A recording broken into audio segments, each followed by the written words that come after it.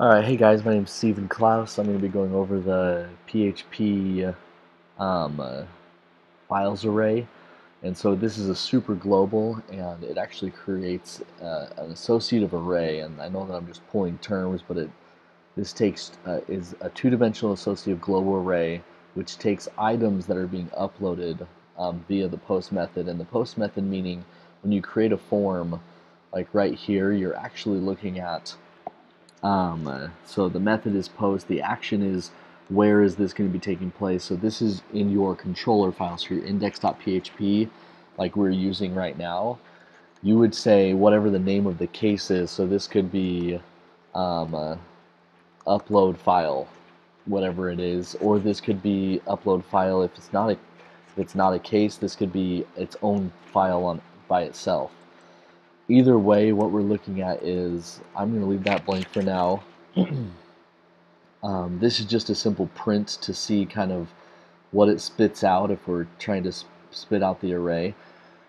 Um, you do have to always have this when you're uploading um, this ENC type multi multi-part slash form data when you're using this super global. If you do not, then it will not work. Um, again, post for the method and then uh, this is just a simple form with two inputs and let's see what that looks like when we execute it. Um, so it just spits out nothing right now because I haven't uploaded a file. But keep in mind uh, when we're looking at this this file name this is what associates with our attributes. So the super global will take all of these attributes and it, as you can see um, this super global right here input field name, input field name, it's all going to be this file right here. Um, and so it's file and then the name of the image. So if I'm uploading an image that's puppies or something, then it's going to say file and then puppies. Right here will be puppies. Um, a temporary name, I know that it's kind of like, wait, what's this temporary name? That's actually the location. And this is where it's kind of important. I wasn't sure how this worked, but when you upload um, you hit submit on this and you actually upload uh, a file, it's going to store your file to a temporary location. If you don't tell it where you want to like put that file, once this script is run, once your script is run, it will delete your image. And so it'll essentially be uploading it ready for use, and then if you don't use it though, it will delete it. That's what this temp um, temp name is. And so that the user that uploads the, the file, they don't have any control over that.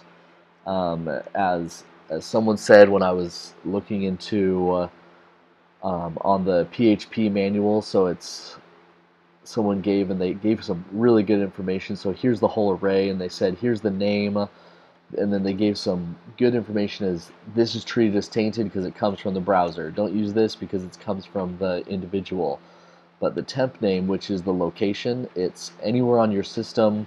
The user has no control, so this isn't tainted. So this is something that you could actually use to make sure you're being more secure. Anyway, sorry this is a, a little bit longer than I was planning on. I was hoping to keep it under three minutes.